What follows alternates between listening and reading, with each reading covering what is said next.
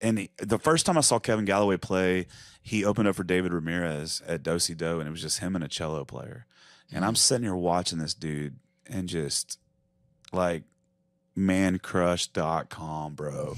like I'm just Yeah. man, so good. That voice and his vibrato and the delivery and the way he just everything about that kid or that guy is like, man, like I- Yeah. That's what I want to do.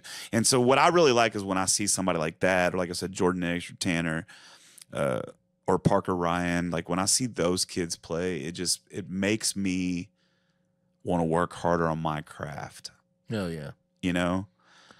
As Yeah. opposed to like seeing a band and then I'm so bored I'm nitpicking their shit.